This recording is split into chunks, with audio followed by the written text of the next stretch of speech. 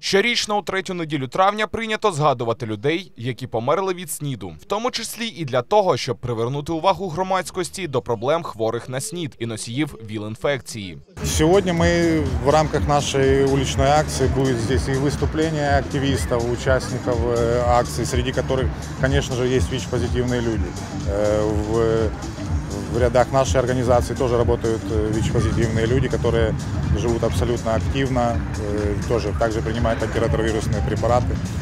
Э, Здесь будет э, бесплатное тестирование на ВИЧ. Это очень важное мероприятие, потому что все-таки информационная кампания, профилактическая работа – это самое главное. Как минимум два раза в год проводим такие мероприятия для того, чтобы а, обратить внимание общественности на эту проблему и дать понять людям, что она касается всех, поскольку сейчас преобладает половой путь передачи, он уже 57%, и а, болеют в основном люди молодого возраста 25-49 лет.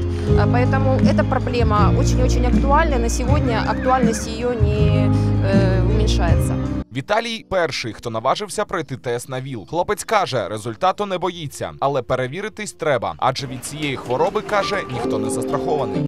Ну, я гулял, смотрел, ну, посмотрел в интернете, что здесь проходит акция, берут, ну, берут кровь, и я пришел узнать свое здоровье, болею я. Ну, вообще болезнь плохая, но к людям я отношусь нормально. У меня есть друг, ну, который болеет тоже СНИДом, и мы с ним нормально общаемся. Утім, таких як Віталій небагато. Люди слухають концерт, беруть участь у вікторині, а здавати кров на експрес-аналіз не поспішають. Кирило Бережний, Андрій Райський. Новини 9 каналу.